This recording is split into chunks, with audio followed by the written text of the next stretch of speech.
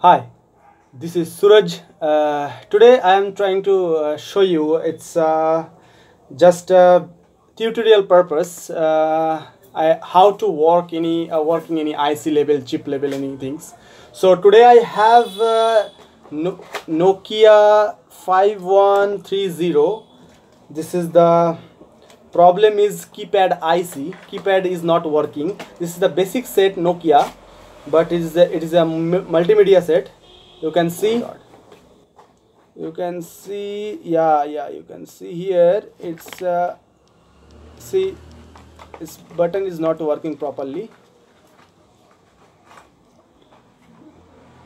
Uh, okay just wait.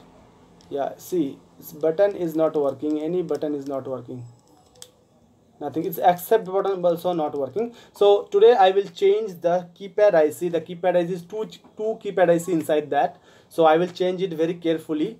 And uh, i can show you. It it's also a just it's also a chip level so it's just a video this video only purpose of uh, educationals and uh, just showing i can work any kind of uh, chip level okay. Thank you